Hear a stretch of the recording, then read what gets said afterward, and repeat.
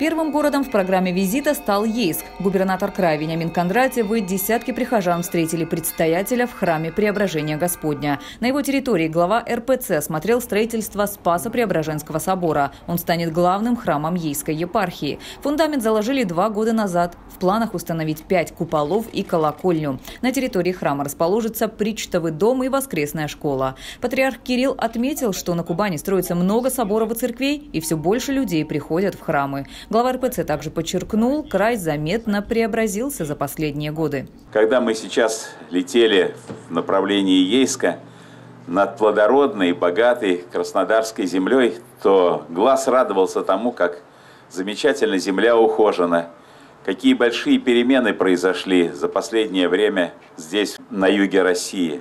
И замечательно, что эти внешние перемены – сопровождаются в том числе и переменами в нашей духовной жизни.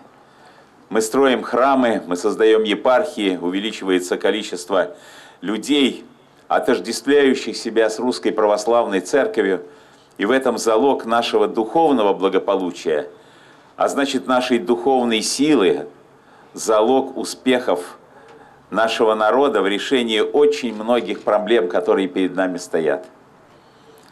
Я хотел бы сердечно всех вас приветствовать и сказать, что сохраняя веру в сердцах, мы сохраняем духовную силу. Пусть Господь каждому из нас помогает на нашем жизненном пути. Храни вас Господь.